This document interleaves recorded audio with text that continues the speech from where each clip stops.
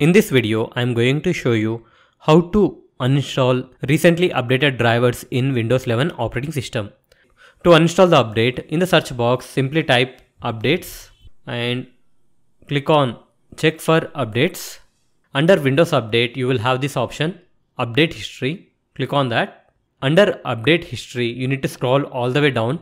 Under related settings, you have this option uninstall updates. Click on that over here you can see that it has found four updates for me which are updated recently. To uninstall any update, to the right of that update you will have this uninstall button. Simply click on uninstall and click on uninstall again. Now here you can see that it is showing uninstall, restart required. Simply restart your PC or laptop.